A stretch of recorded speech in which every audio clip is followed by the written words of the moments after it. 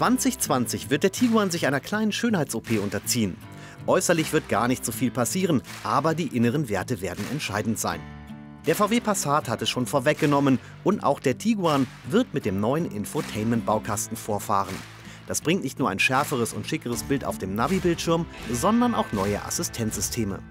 Zum Beispiel kann der Tiguan dann künftig per eingebauter SIM-Karte Updates über Nacht empfangen oder per Sprachsteuerung über Hey Volkswagen mit dem Fahrer kommunizieren. Dazu dürfte auch das VW Tiguan Facelift mit überarbeiteten Motoren kommen, um mehr Sprit zu sparen. Das bedeutet 48 Volt Technik. Dieser Mild-Hybrid unterstützt die Segelfunktion bei kurzzeitig abgeschaltetem Verbrennungsmotor und kann beim Anfahren unterstützen. Außerdem gibt es natürlich neue Farben, neue Stoffe und ein paar schicke neue Anbauteile, um das Facelift aufzuhübschen. Mitte des Jahres soll der neue Tiguan vorgestellt werden.